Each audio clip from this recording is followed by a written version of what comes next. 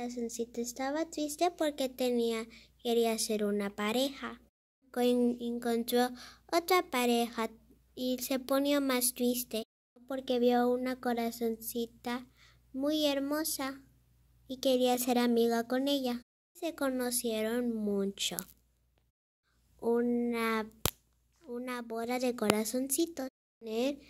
Un niñito corazoncito y, y vivieron felices para siempre.